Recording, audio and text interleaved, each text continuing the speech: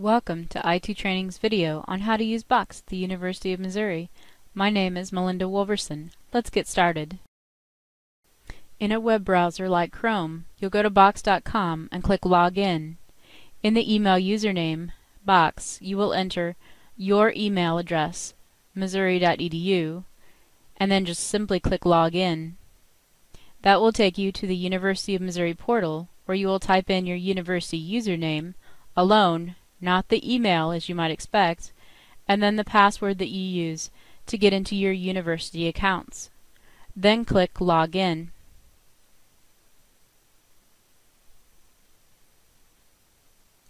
You will then be in Box and can begin.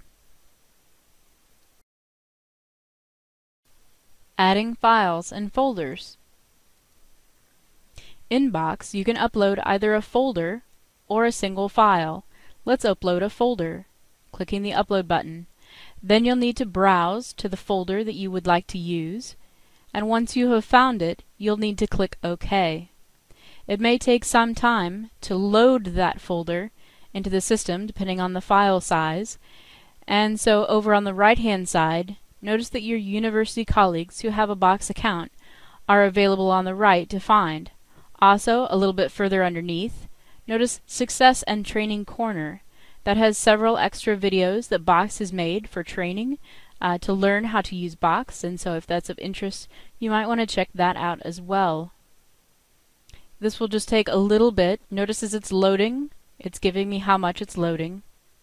And now, let's upload a single file. This will be much faster. We'll click the Upload button again, and then say Upload Files. I will then find the file, just a random small picture, and say Open. Here it asks me if I want to upload more files. I do not, so I'll simply click Upload. Takes just a few seconds, and then it's done. We have uploaded files.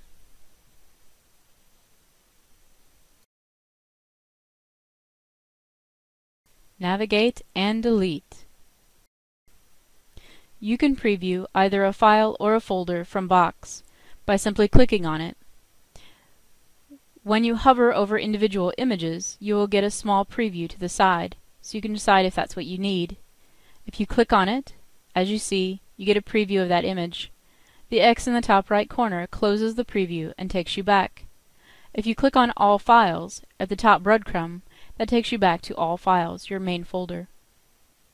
You can delete files from here if you hover over and then click the checkbox next to that file.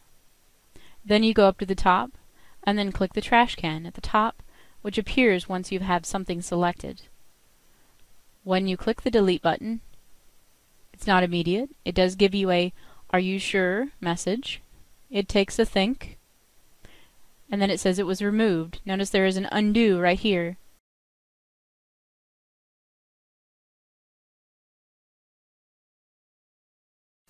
Downloading a file from Box to your computer.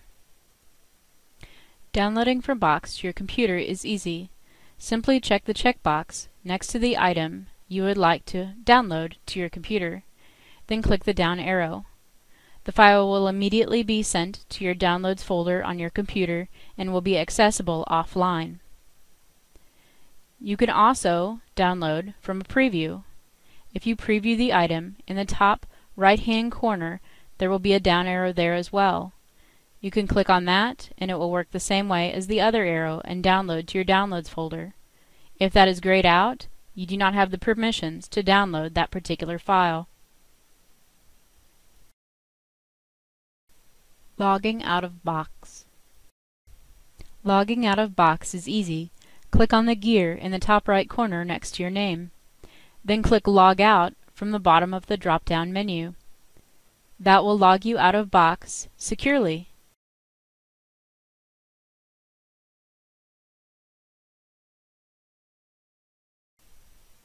Hope this has helped you get started with Box.